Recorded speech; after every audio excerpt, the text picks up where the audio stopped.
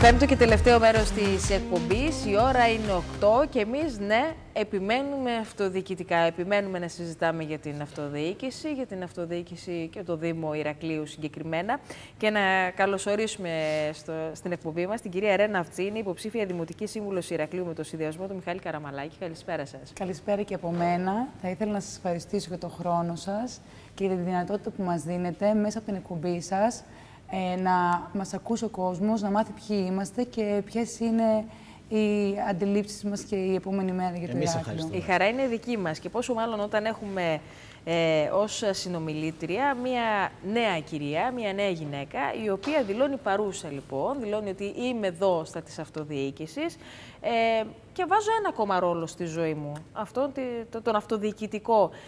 Δύσκολο εγχείρημα. Δύσκολο. Είναι αρκετά δύσκολο μπορώ να πω.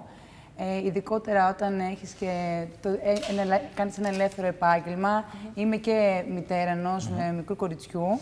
Ε, είναι δύσκολο να πάρεις την απόφαση να ασχοληθείς με τα κοινά. Παρ' όλα αυτά, ε, πήρα πολύ εύκολα την απόφαση, γιατί σκέφτηκα ότι το Ηράκλειο, η πόλη που ζω και εργάζομαι και που αγαπώ πάρα πολύ, είναι μια πόλη η οποία έχει όλα τα εχέγγυα και για να αναβεθμιστεί, να εξελιχθεί. Ε, Συν το γεγονός ότι για μένα ήταν καθοριστικό το ότι ο, ο κύριος Μιχάλης Καραμαλάκης, ο επικεφαλής μας. θα ήταν η επόμενη ναι. ερώτηση. Γιατί με τον Μιχάλη Καραμαλάκη; Με τον επικεφαλής μου, Μιχάλη Καραμαλάκη, γιατί πιστεύω ακράδαντα ότι είναι ένας άνθρωπος ο οποίος μπορεί να μετουσιώσει το Ηράκλειο, μπορεί να το εξελίξει, έχει αποδείξει ε, περίτρανα τις ικανότητές του στο διοικήν, Πιστεύω ότι είναι ένας άνθρωπος που πρεσβεύει το νέο, το άφθαρτο, δίνει ε, τη δυνατότητα και στους νέους ανθρώπους να βγουν μπροστά, να αποδείξουν, αν θέλετε, τι μπορούν να κάνουν. Γιατί, όπως είπαμε και πριν, είναι πολύ δύσκολο να πάρει την απόφαση, όμως πρέπει και η νέα γενιά να βγει μπροστά, να αποδείξει, να κριθεί και να αποδείξει τι μπορεί να κάνει. Γιατί μπορούμε να κάνουμε. Έχουμε νέες ιδέες, έχουμε όρεξη και μπορούμε να κάνουμε πράγματα. Παρά το νεαρό της ηλικίας μου, αν και προσφάτως μου είπαν ότι είμαι στο όριο της νέας γενιάς. ε, όχι, ε, όχι, εντάξει. ε, κυρία Βτζή, είπατε, κάνατε αναφορά και εσείς ότι είστε μητέρα. Ε, Πολλές φορές ε, η αλήθεια είναι ότι έχοντας οι ίδιοι την εμπειρία, καταγράφουμε και τα προβλήματα πιο εύκολα. Είναι για έναν γονιό ε, ο Δήμος Ηρακλείου ένα φιλικό περιβάλλον ή τα προβλήματα που βλέπετε και αντιμετωπίζετε και εσείς στην καθημερινότητά σας κάνουν δύσκολη αυτή, αυτή τη, τη, μέρα με τη μέρα, σκαλοπάτι με σκαλοπάτι; Θεωρώ ότι δεν είναι πολύ το φιλικό το περιβάλλον στο Ηράκλειο και θα ξεκινήσω με ένα βασικό πράγμα, τα πεζοδρόμια. Ε, η πρώτη φορά που, τις πρώτες φορές που πήρα το καρότσι με την κόρη μου για να περπατήσω στο κέντρο ή στις ε, γύρω περιοχές, ε, αντιμετώπισα αυτό, αυτό το πρόβλημα και είπα ότι δεν είναι δυνατόν να είμαστε μια μεγάλη πόλη, μια, η τέταρτη μεγαλύτερη πόλη στην Ελλάδα και να μην έχουμε πεζοδρόμια. Ναι. Δεν έχουμε πεζοδρόμια, δεν έχουμε πεζοδρόμια ακόμα και σε κεντρικές ε, περιοχές του Ηρακλείου.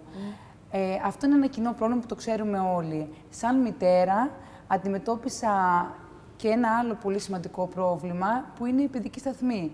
Είμαι εργαζόμενη. Και από αυτούς δεν έχουμε. Δεν έχουμε καθόλου παιδικούς σταθμούς. Ή μάλλον έχουμε ελάχιστους παιδικούς σταθμούς που δεν μπορούν να καλύψουν σε καμία περίπτωση τον αριθμό των, ε, των αναγκών των παιδιών. Ε, Φυσικά δεν έχουμε ούτε. Οι θέσεις είναι ελάχιστες ακόμα και στους ε, ιδιωτικούς σταθμούς, αλλά πόσο μάλλον τώρα εδώ μιλάμε για τους ε, δημοτικούς.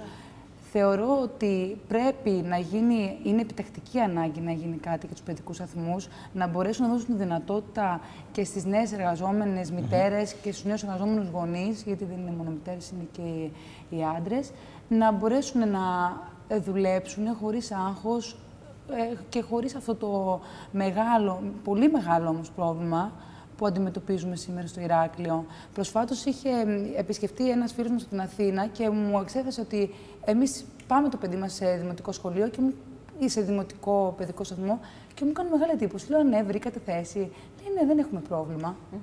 Στην Αθήνα. Ναι, εδώ για μας ε, είναι προνόμιο να βρεις θέση στους δημοτικούς σταθμούς, mm παιδικού σταθμούς. Στις επαφές σας με τον κόσμο που κάνετε αυτές τις μέρες, στον προεκλογικό αγώνα, τι άλλα προβλήματα έτσι προτάσει ο κόσμος, Είναι η καθαριότητα, το νερό. Δυστυχώς το έχουμε ακούσει πολλές φορές, θα το έχετε ακούσει και εσείς πολλές ναι. φορές.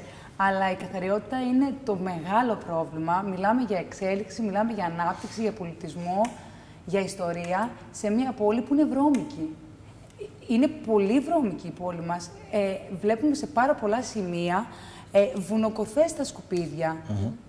Για μένα αυτό θα πρέπει να είναι προτεραιότητα. Δεν μπορούμε να μιλάμε για εξέλιξη και ανάπτυξη όταν δεν είμαστε σε ένα υγιές περιβάλλον, σε ένα καθαρό περιβάλλον. Έχουμε αναπτύξει και μια άλλη κουλτούρα, μια άλλη παιδεία σε ό,τι έχει να κάνει και με το κομμάτι της καθαριότητας και εμείς. Και, και κατά πόσο έχει συμβάλει ο Δήμος σε αυτό; Θεωρώ πως είμαστε λίγο πίσω και σε αυτό, mm -hmm. σαν δημότες. Θεωρώ ότι πρέπει να αναπτύξουμε, πρέπει να δώσουμε τα χέρια στον κόσμο, να καταλάβουμε πώς πρέπει να αντιμετωπίζουμε και τα σκουπίδια. Θα πρέπει να κάνουμε ανακύκλωση. Δεν γίνεται ανακύκλωση στο Ηράκλειο, που θα είναι ένας τρόπος να αποκομίσει και ο Δήμος ε, χρήματα μέσα από την ανακύκλωση. Ε, θεωρώ ότι πρέπει να αναπτυχθεί και να εξελιχθεί λίγο και στο μυαλό των δημοτών το θέμα της ε, καθαριότητας, πόσο και ο κάθε ένας προσωπικά πρέπει να συμβάλλει σε αυτό. Σίγουρα ο Δήμος έχει πρωταρχικό ρόλο. Και κάτι άλλο που δεν έχουμε, κυρία Βτζή, είναι ένα σύγχρονο δικαστικό μέγαρο. Αυτό έχουμε ένα πολύ παλιό. Ε, υπάρχει το χρόνιο, η χρόνια υπόθεση ανέγερσης του νέου δικαστικού μεγάρου. Θα το δούμε να φτιάχνετε το νέο δικαστικό μέγαρο. Σε πρόσφατη συνάντηση που είχαμε με τον πρόεδρο και τα μέλη του Δικαιωτικού Συλλόγου. Το ρωτάμε, είστε και δικηγόρος γι' αυτό. Ναι, για μας είναι μεγάλο θέμα αυτό. Γιατί όχι μόνο δεν έχουμε δικαστικό μέγαρο, έχουμε το κίνητο, δεν έχει αναγερθεί το κτίριο και οι συνθήκες του υπάρχοντος ε, δικαστικού μεγάρου είναι πολύ κακές. Είναι πολύ κακές για το Ηράκλειο ε, και σίγουρα δεν είναι μια εικόνα που κολακεύει τα, δικαστη... τα δικαστήρια και το Ηράκλειο. Θεωρώ και είμαι σίγουρη ότι στην επόμενη δημαρχία θα είμαστε δίπλα σε αυτό το θέμα και θα προσπαθήσουμε με κάθε τρόπο να πιέσουμε τους παράγοντες και τους ε, υπευθύνους για την ανέργεια του νέου δικαστικού μεγάλου. Σε ένα Ηράκλειο που έχει προχωρήσει σε ανάπλαση ε, στο κέντρο του Ηρακλείου, έχει και ένα δικαστικό μέγαρο το οποίο δεν είναι τιμή για κανέναν. Που κοντεύει να πέσει. Που κοντεύει και να πέσει. Και θέμα αισθητικής και θέμα ασφάλεια. Όπως σωστά το λέτε. Πολύ σωστά το σημειώνετε. Η αισθητική που είπατε. Σημαντική στο Ηράκλειο. Λείπει. Λείπει. Λείπει. το διαπιστώνετε και Λείπει, λείπει αισθητική. Έχουμε μια πολύ όμορφη παραλιακή και έχουμε γυρίσει την πλάτη μας. Ναι, έχουμε, έχουμε γυρίσει την πλάτη μας Έχουμε γυρίσει την πλάτη μας. Ναι.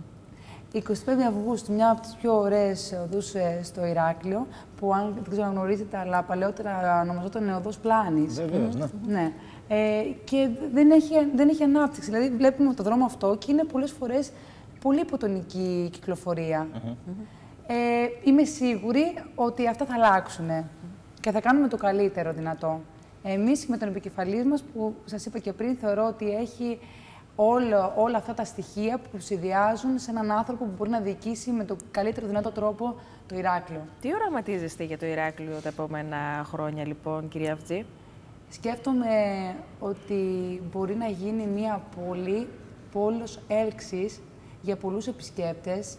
Έχουμε τόση ιστορία, έχουμε τόσο πολιτισμό, έχουμε τόση φυσική ομορφιά, που μπορεί με, αυτά, με αυτούς, συγγνώμη, με, αυτά που μπορούν να γίνουν και μπορούν να εξελιχθούν στην, στα, στην καθαριότητα, στην ε, αισθητική, στην ε, αρχιτεκτονική, μπορεί να προσεγγίσει πολύ κόσμο.